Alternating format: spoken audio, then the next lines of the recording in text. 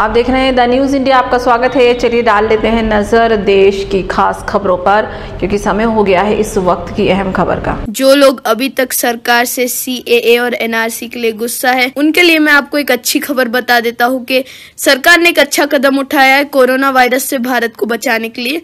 चीन के वुहान में 330 लोगों को लेकर एयर इंडिया का दूसरा विमान दिल्ली पहुँचा। चीन के वुहान में एयर इंडिया का दूसरा विमान रविवार को 330 भारतीयों को लेकर दिल्ली पहुँचाया गया है, जिसमें 323 भारतीयों के अलावा सात मालदीव के नागरिक भी शामिल हैं।